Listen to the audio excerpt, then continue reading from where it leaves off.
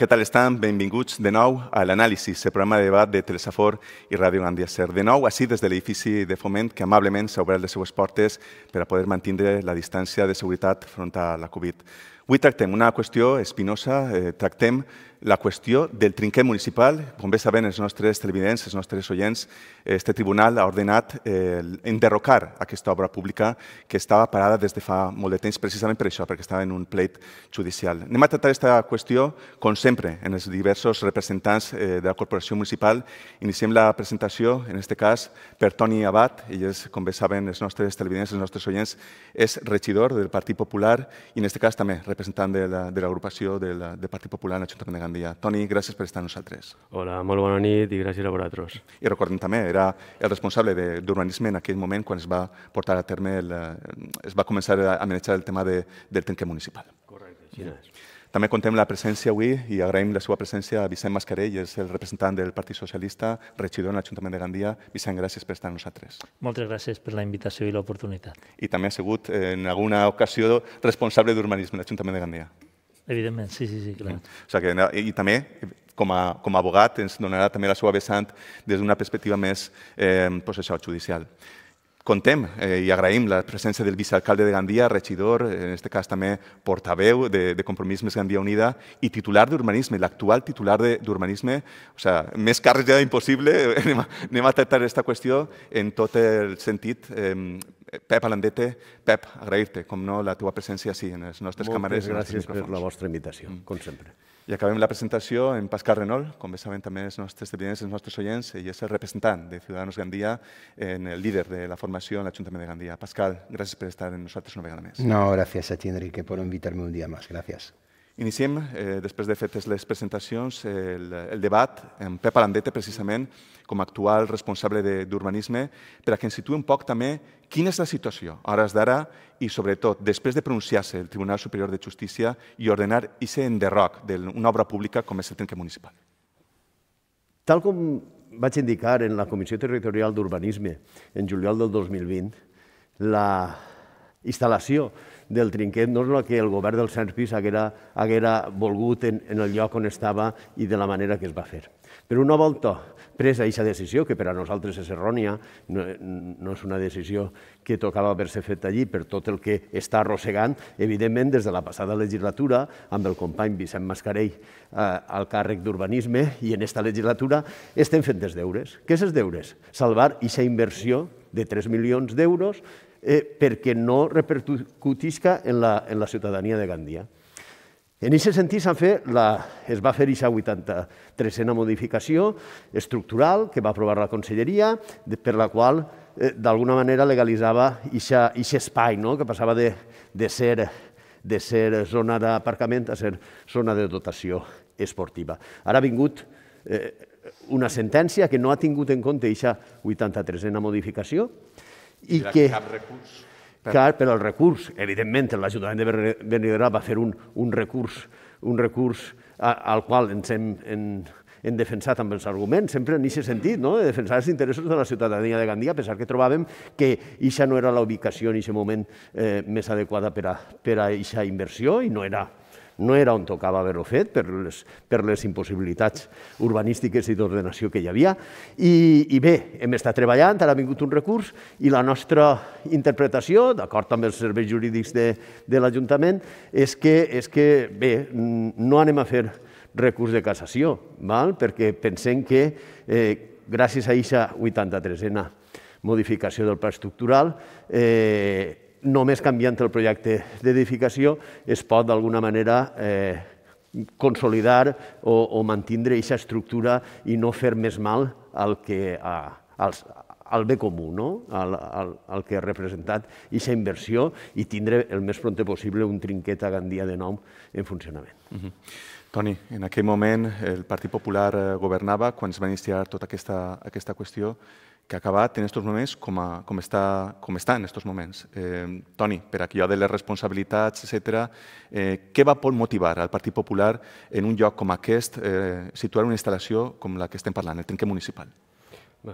Bé, eh, en aquell entonces eh, hi havia una modificació i eh, s'ha de recordar que eh, en l'anterior legislatura eh, eh, el govern de torn eh, tenia pensat albergar un retent de, de policia local on l'impacte visual era 10 vegades més que actualment, perquè el trinquet actualment està eh, paral·lelo a les instal·lacions dels Reis de Corella i el que es pretenia en la legislatura anterior a entrar el Partit Popular a governar era agarrar tot l'ample de, eh, del pàrquing, és a dir, 10 vegades més, a més de contemplava també un pàrquing subterrani.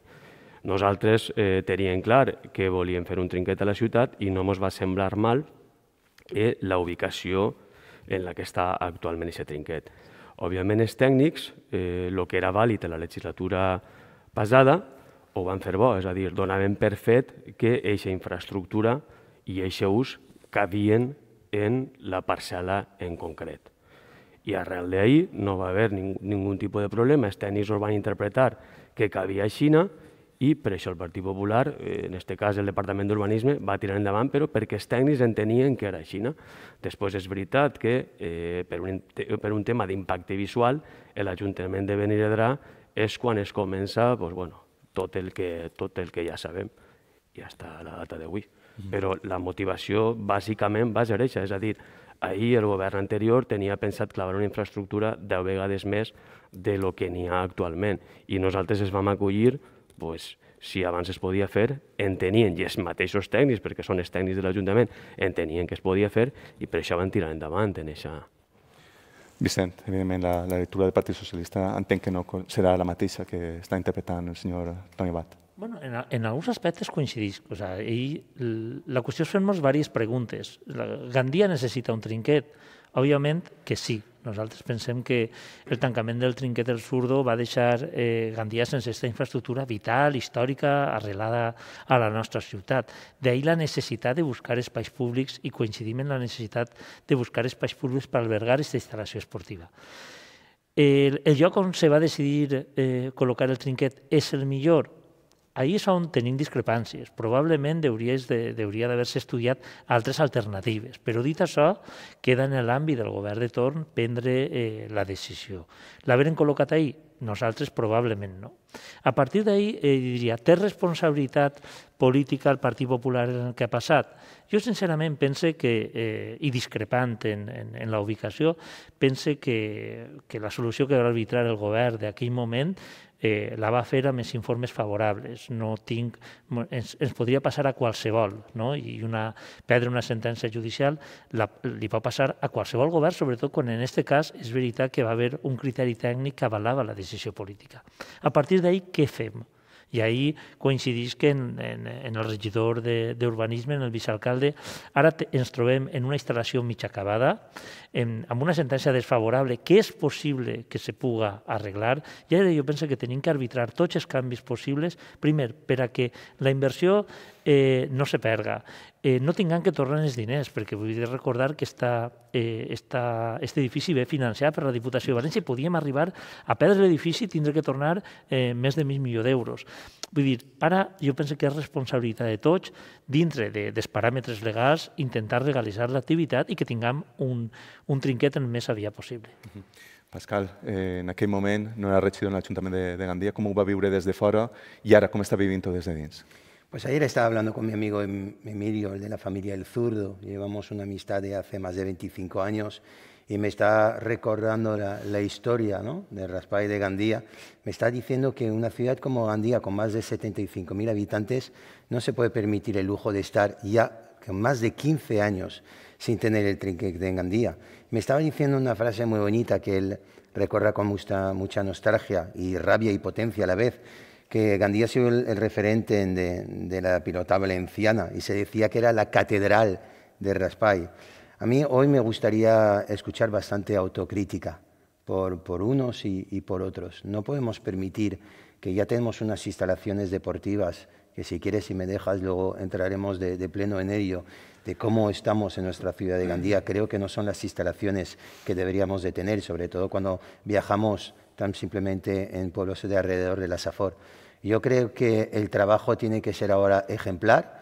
Estoy con Vicente Mascarell que dice que no nos podemos permitir ahora, con todo lo que está pasando en la situación económica de la ciudad y del país en general, tener que tumbar un edificio que ya ha costado el dinero, que se debería devolver ese dinero, creo que Gandía no se lo puede permitir y estaríamos todos de acuerdo que el trinquet tiene que volver a Gandía 15 años después y que sería, por supuesto, una actividad deportiva y económica que, sin lugar a dudas, necesita la ciudad y cuanto antes. Pep, es pot salvar realment el, el trinquet en les actuals circumstàncies? Estem confiats que sí, estem confiats que sí, d'acord. Què està fent-se a, a, a partir d'ara, després d'aquesta eh, sentència? D'acord amb aquests amb mm, amb eixos informes jurídics. Fixeu-vos que, d'acord amb aquesta modificació que, que, que va aprovar el, el plenari eh, i la conselleria, una modificació estructural, podria donar-se el cas de, de tombar-se el trinquet i, poder, i tornar-lo a fer Que barbaridad. És una paradoxa. D'acord amb, amb la normativa existent. Una paradoxa, però podria Clar, ser és real. Una paradoxa, podria ser. Per tant, en, home, com, a, com a representants de, de públics, com a garants de que, de que els diners públics estiguen ben utilitzats, estem obligats a fer tot el possible perquè aquesta infraestructura es mantinga es mantinga i es posa en funcionament. Per què? Perquè és, tots estem d'acord. Eh? A tots els, els presents ens encanta eh, la pilota valenciana, és un, és un esport en què Gandia ha, ha sigut capdavantera, evidentment, com deia Pascal, la catedral del raspall, i jo recorde des de ben xicotet anar, anar al surdo, els dijous n'hi havia del cordo, eh? Val? I, els altres, i els altres dies raspall, que és la modalitat més freqüent en la nostra comarca, però bé, i recorda aquest ambient i, i, i malauradament no el podem tindre. I aquesta instal·lació pot subsanar aquesta deficiència que la capital de la Safor no es pot permetre. I farem tot el possible perquè els diners públics seguisquen eh, i, i no es torne, evidentment, aquesta subvenció de la Diputació i es mantinga aquesta instal·lació i pronte estiga en funcionament.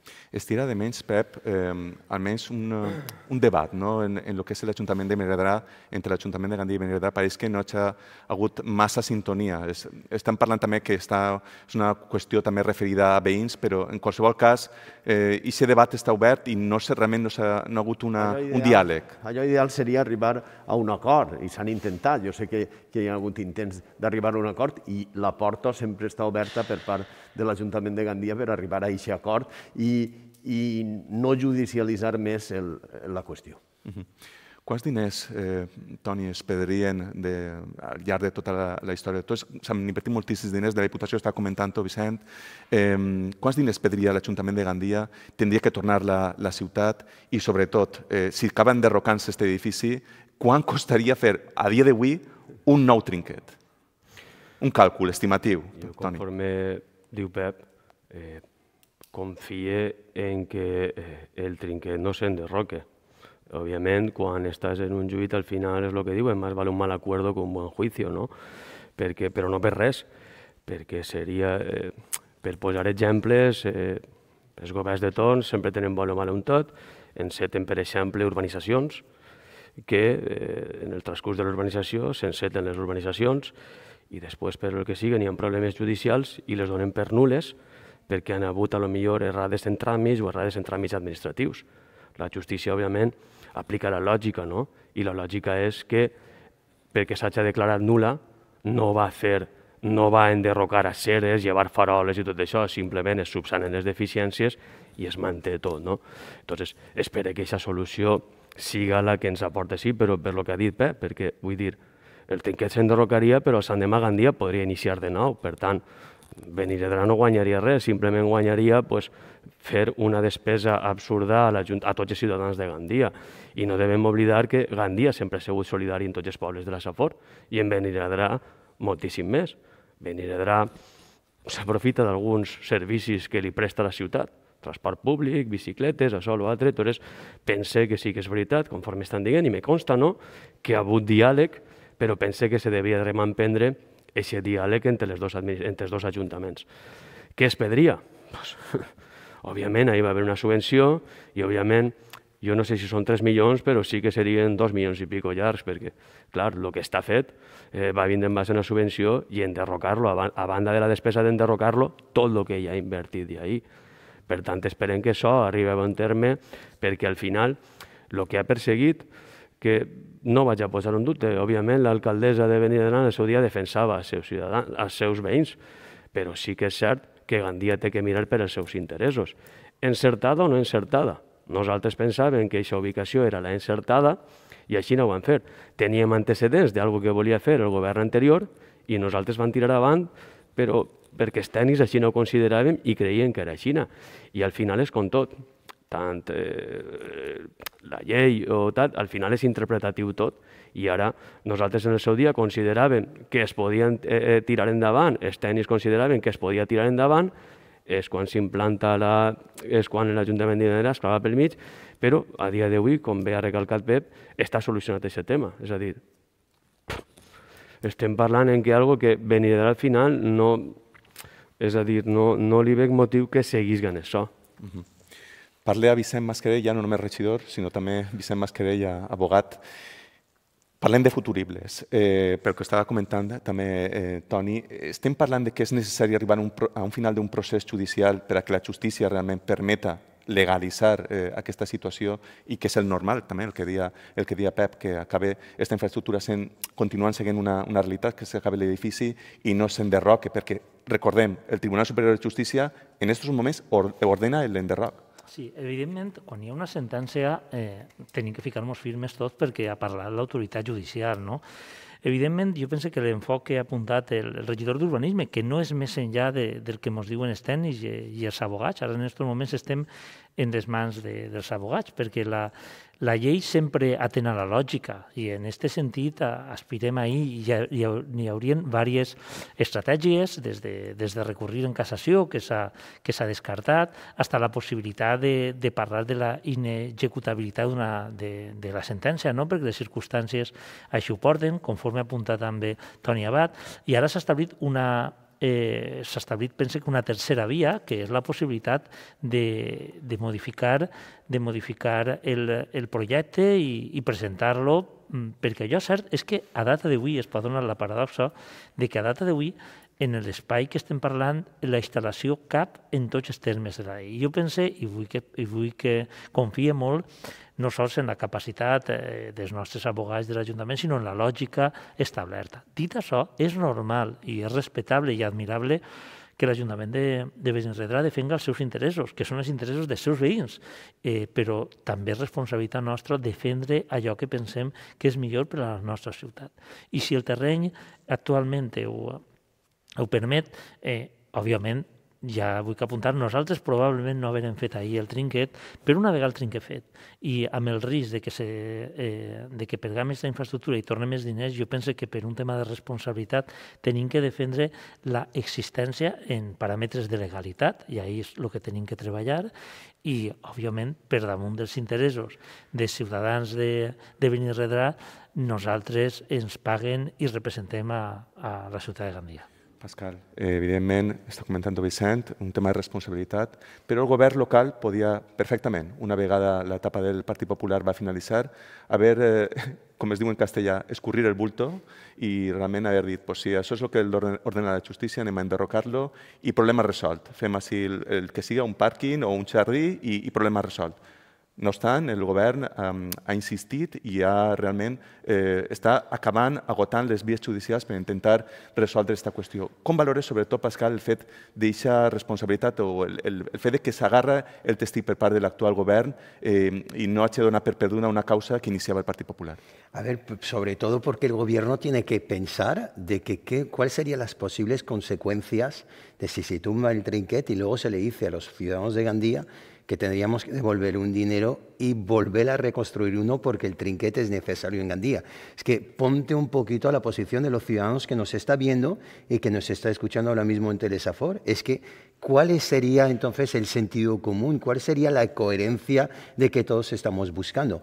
A mí sí que me gustaría decir una cosa, Enrique, que a mí me consta de que independientemente, vamos a ver, como decía que los abogados, si tenemos la suerte de poder salvar el trinquet tal como está, a mí me gustaría eh, saber el futuro del trinquet, porque me consta de que falta instalaciones por acabar, no está acabado, no tiene el marcador, que esto tiene mucho dinero, falta la red también. Y también me consta que hay muchos empresarios de la misma familia del Zurro de toda la vida que estaría muy interesada en, en ocuparse y, poder llevar ese trinquet. Yo creo que deben de trabajar muy duro todos los que están aquí para no dar una pésima imagen de nuestra ciudad. Desgraciadamente ya sabemos lo que es tener, bueno, pues como el baladre, que lo tenemos ahí parado, se ha construido, ha costado un dinero, no le estamos sacando provecho de ello. No podemos permitirnos ahora mismo, no debemos permitirnos dar esta imagen, esta mala imagen, porque creo sinceramente que si esto se llegaría a pasar, saldríamos en todas las televisiones y periódicos del país, con lo cual la imagen ahora mismo de Gandía no se puede permitir el lujo de tener un accidente mayor de lo que las cosas ja del sinsentido que està passant ara mismo. Pep, evidentment, una infraestructura de molts diners, eh, comentava eh, Vicent, el, el, govern actual no haguera instal·lat eh, aquesta, aquesta, aquest inquet en aquesta zona, en aquest solar. Existís la possibilitat, Pep, des d'un punt de vista tècnic, perquè això també s'ha apuntat, però entenc que serà descartable o, o no. Existís la possibilitat de traslladar íntegrament l'edifici? En principi això és, és una qüestió eh, exageradament costosa i que... Descabellada, i que, completament. I que, i que, i que no s'ha contemplat. Val? Però, eh, evidentment, el, el que sí que, com ha dit Pascal, com estem dient tots, s'ha treballat, s'ha treballat per, per mantindre-la. I fixeu-vos, jo he dit a des juliol del 2020, que sembla una data eh, arreu, però fixeu-vos què vol dir eh, juliol del 2020. És la primera sessió que fa la Comissió Territorial i l'expedient s'acaba en plena pandèmia. Val? És a dir, que el Departament d'Urbanisme, els tècnics, estan treballant per arribar el, a la primera Comissió Territorial d'Urbanisme de la Conselleria a temps i forma per defendre els interessos de la ciutadania de Gandia.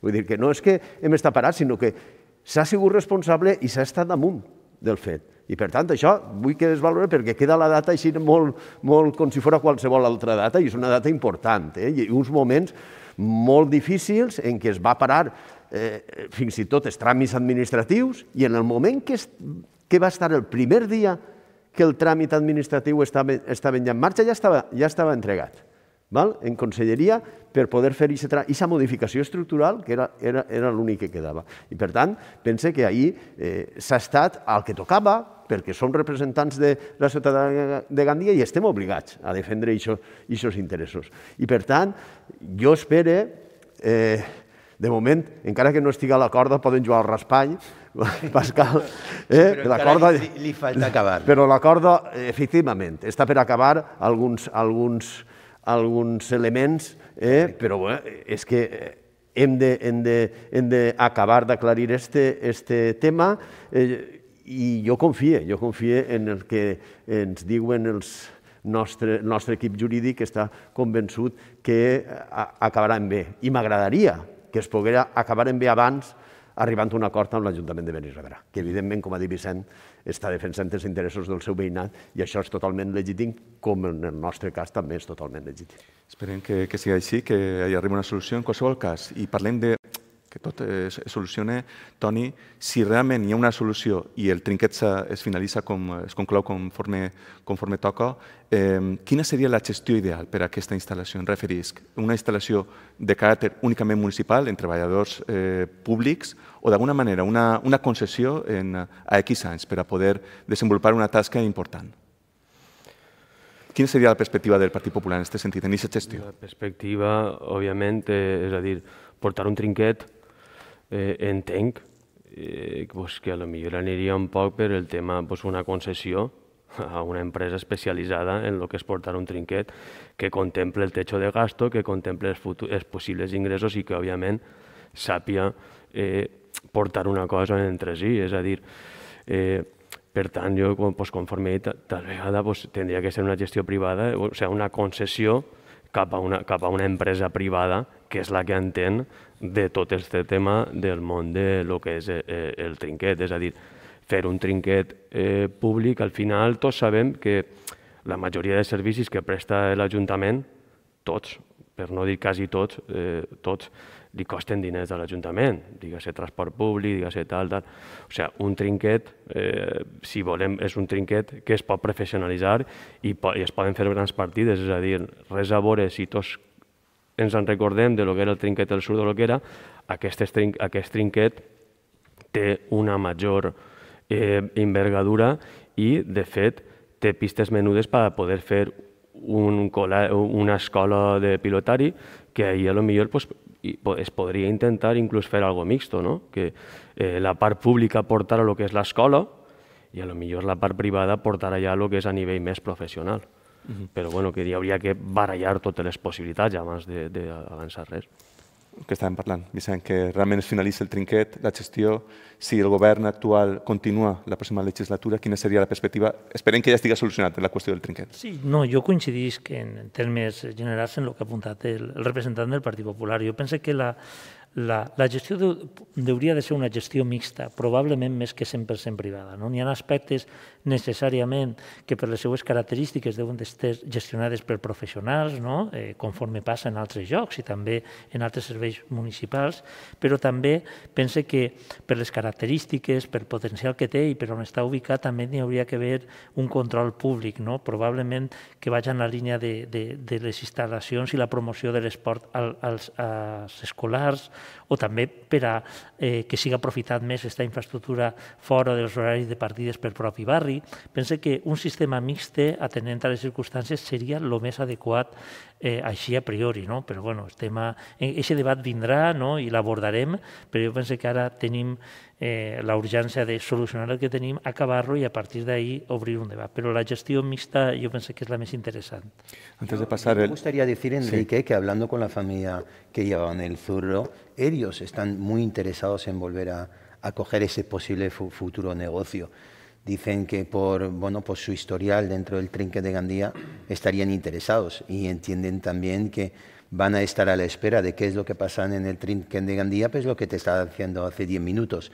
Me consta de que a pesar de cómo está todo, que el público no podría venir, ni los jugadores o el público a verlo, habrá gente muy interesada en el proyecto si al final se finaliza claro, el trinquet. Cuando abra el trinquet, la pandemia ya habrá acabado. Sí, esperemos. Esperemos. esperemos sí. Entonces sí, no, Vicent. Pues, pues razón de más, Vicent, para decirte que hay gente que, que, está muy interesada. Esta familia me ha dicho que dejará muy claro en Teresa Ford que dejará constancia y que les interesa con lo cual es un, también una buena noticia de sin estar todavía acabado el proyecto o no, qué es lo que va a pasar, que hay gente a la espera y que está predispuesta a luchar por él y poder llevarlo. Y que la catedral continúa Gandía. Desde luego que sí, Enrique, sin lugar a dudas. Pep, ja eh, estem a punt de finalitzar el programa, però m'agradaria, en qualsevol cas, iniciar una ronda de conclusions. El futur del trinquet, després d'esta sentència judicial, eh, és viable? Parlàvem també de la, de la gestió. I les conclusions, Pep. És necessari, el trinquet és necessari a Gandia. Gandia necessita recuperar aquesta capitalitat que sempre ha tingut en el món de la pilota. Em costa també que, a més de la, de la gestió, aquesta gestió mixta en què, en què tots coincidim, també hi ha, hi ha aficionats que estan eh, manejant-se eh, amb, amb la, he parlat en ells, eh, en la modalitat de pilota grossa, per exemple, eh, que és una, una vessant popular també de la pilota valenciana que ara està molt en auge, i, i bé, i Gandia ha de ser el revulsiu, no? ha de ser eh, també estendard de, de la pilota valenciana i per això seguirem lluitant perquè este trinquet, esta instal·lació i tot el que portarà aparellat eh, siga aquest catalitzador d'aquest reviscolament de la pilota valenciana a la nostra ciutat. Toni, conclusions. Sí, sobretot la màxima, no? és a dir, que s'arriba a bon terme, eh, conforme hem dit, eh, eh, sabem que a dia d'avui eh, eh, l'espai en concret està legalitzat i sí que té cabut aquest trinquet, esperem i confiem en les paraules que ha dit Vicent, que és advocat, en què s'apliqui un poc la lògica, perquè seria molt des, eh, enderrocar el trinquet, si els demà podrien fer-lo, esperem que la justícia, i confiem en el departament jurídic i tècnic de l'Ajuntament de Gandia, però que això arribi a bon port, i òbviament com estem dient a ser. Així tenim que estar tots de la mà i conforme hem dit, eh, l'Ajuntament de Benirredrà legítimament ha defensat els interessos dels seus veïns, però nosaltres estem així per defensar els interessos dels ciutadans de Gandia i entenc que és el que tenim que fer i anar tots just de la mà. Es pot parlar de que si l'emplaçament era l'adequat o no, però al final és com tot. No? El, el, el govern de Tor va decidir que era allí perquè entenia que tenia cabuda i això es va fer. A partir d'ahir, pues és el que dic, esperem que tot això arribi a bon terme i que simplement hagi sigut un retras per a que Gandia torni a ser la, la catedral de la pilota. Que s'apliqui la lògica, Vicent. Sí, la, la lògica, la justícia, jo penso que també eh, en aquest aspecte eh, Gandia té un deute en la pilota valenciana en general i en el raspall en particular. Tenim un deute en els milers d'aficionats en la nostra història eh, i, i qui perd els orígens perd l'identitat, com deia Raimon, i pensa que és de justícia urge i d'urgència tindre aquesta instal·lació per, eh, per lo que som i sobretot per lo que hem sigut. Mm -hmm. Pascal. Yo me gustaría que Gandía diera una mejor imagen del deporte, que cuidara mejor el deporte de esta ciudad y las instalaciones son necesarias.